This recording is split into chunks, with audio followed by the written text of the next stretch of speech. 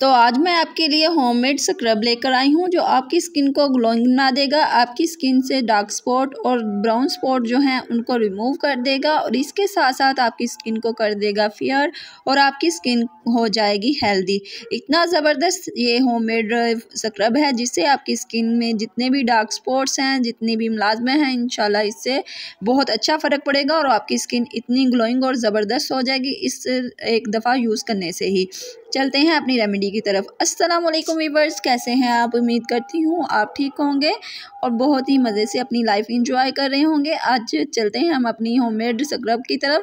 सबसे पहले हम लेंगे एक साफ़ सा बॉल जिसमें हम डालेंगे पीसा हुआ चावलों का आटा राइस फ्लोर राइस फ्लोर का एक चम्मच हम इसमें ऐड करेंगे। अब इसमें जो है मैं डालूँगी रोज़ वाटर आपने इसमें रोज़ वाटर इतना ऐड करना है, जिसमें ये सब जो है डिप हो जाए। फिर आप जो है इसको हाफ़ घंटे के लिए जो है इसको रख देंगे ताकि जो है ये अच्छी तरह से इसमें जितनी भी गुडनेस है वो इसमें आ जाए। इसको हम रख देंगे हाफ़ घंटे के लिए, इसे सेव कर देंगे। हाफ़ घंटे के बाद जो है इसको हम अपनी रेमेडी में यूज़ करेंगे। इसका बहुत अच्छा और बहुत कमाल का रिज़ल्ट है। इस स्क्रब से आपकी स्किन वाइटनिंग भी होगी। अगर आप किसी पार्टी पे जाना चाहते हैं तो आप इसको यूज़ करके पार्टी में चले जाएँ। ये देख रहे हैं हमने आधे घंटे के बाद इसका कुछ इस तरह से जो है ये पेस्ट हो गया है। आपने इसमें थोड़ा सा और रोज़ वाटर डालना है ताकि जो है एक फाइन सा पेस्ट बन जाए। ये देखें आप, इस तरह से आपने पेस्ट जो है तैयार कर लेना है।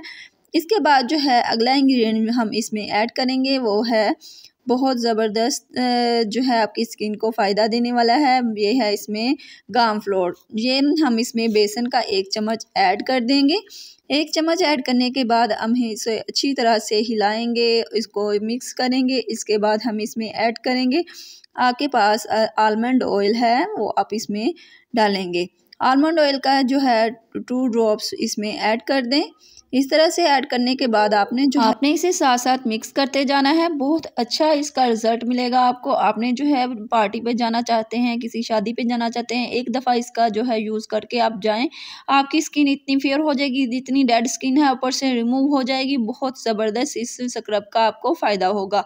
ये है मेरे पास कोकोनट कोकोनट ऑयल कोकोनट का हम इसमें रेमेडी में यूज़ करेंगे। ये आपकी स्किन को स्मूथ कर देगा आपकी स्किन को बहुत ज़बरदस्त कर देगा। ये है कोकोनट ऑयल थोड़ा सा जो है जम जाता है सर्दी में, इसलिए हम, मैं जो है इसको इस तरह से निकाल रही हूँ। अपने हाफ़ चम्मच इसमें को यूज़ करना है। ये आपकी स्किन को मॉइस्चराइज करेगा, आपकी स्किन को बहुत सॉफ्टनेस देगा। इस रेमेडी में यूज़ करने से बहुत ज़बरदस्त इसका जो है आपको रिज़ल्ट मिलेगा। आपकी स्किन के जितने भी डेड सेल्स हैं वो रिमूव हो जाएँगे। आपकी स्किन में अगर ब्लैक हेड्स हैं, वाइट हेड्स हैं, वो भी रिमूव होकर आपकी स्किन बिल्कुल क्लियर हो जाएगी, बहुत वाइट एंड ब्राइट हो जाएगी। इस स्क्रब को यूज़ करके आप दूसरे स्क्रब को भूल जाएँगे। ये है मेरे पास पीसे हुए बादाम। आलमंड, अगर आपके पास घर में बादाम है, आप उनको पीस लें, पीस कर जो है इस रेमेडी में उसको दरदरे से कर लें। दरदरे से किए होंगे तो आपको जो है वो इस रेमेडी में थोड़ा सा स्क्रब के तौर पर यूज़ करने हैं।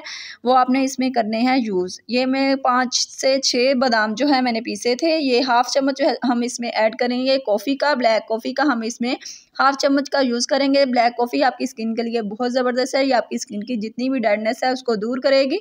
इसमें हम थोड़ा सा रोज़ वाटर डालेंगे ताकि जो है ये एक फाइन सा पेस्ट तैयार जब ये फाइन सा पेस्ट तैयार हो जाएगा, आपने अपनी स्किन पर अप्लाई कर लेना है। अपनी स्किन पर अप्लाई करने से आपने हल्का हल्का सा मसाज करना है। मसाज करने के बाद आपने इसे दस मिनट के लिए छोड़ देना है। दस मिनट के छोड़ने के बाद आपने पाँच मिनट फिर मसाज करके इसको जो है फिर अपनी स्किन से उतार लेना है। वॉश कर लेना है। चेहरा इससे आपकी स्किन बहुत ही ग्लोइंग करेगी। अब हफ़्ते में दो दफ़ा यूज़ करें और इसका मुझे फीडबैक ज़रूर दें। वीडियो पसंद आई लाइक शेयर और चैनल को सब्सक्राइब करना मत भूलिएगा थैंक्स फॉर वॉचिंग